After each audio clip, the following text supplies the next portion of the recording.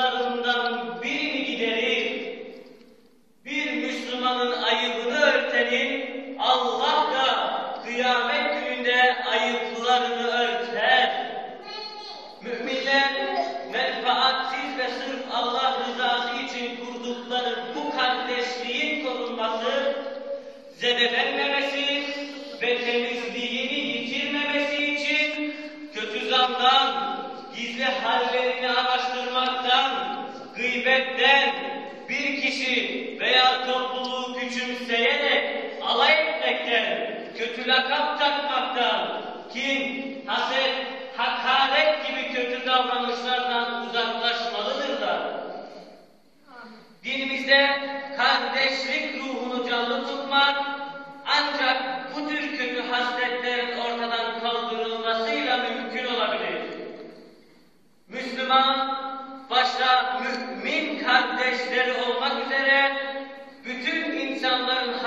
saygı gösteren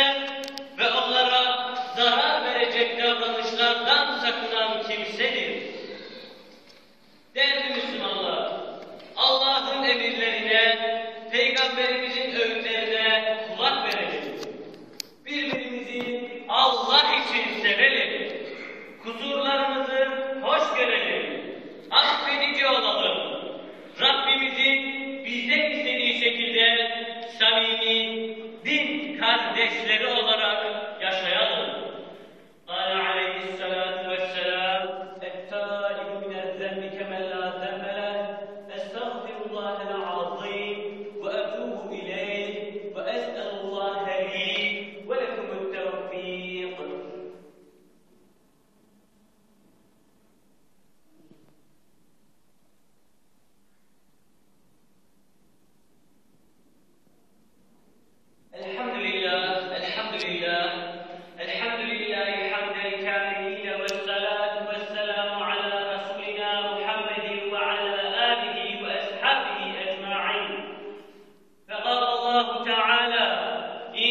إن الله حبب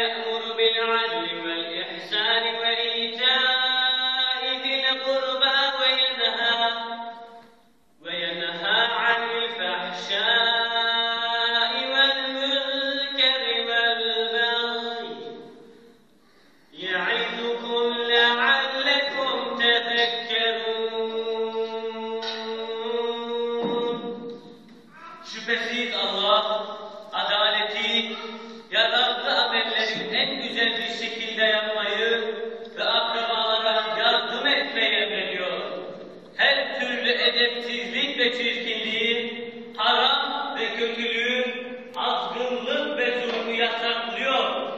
O, düşünüp tutasınız diye size öğütler veriyor.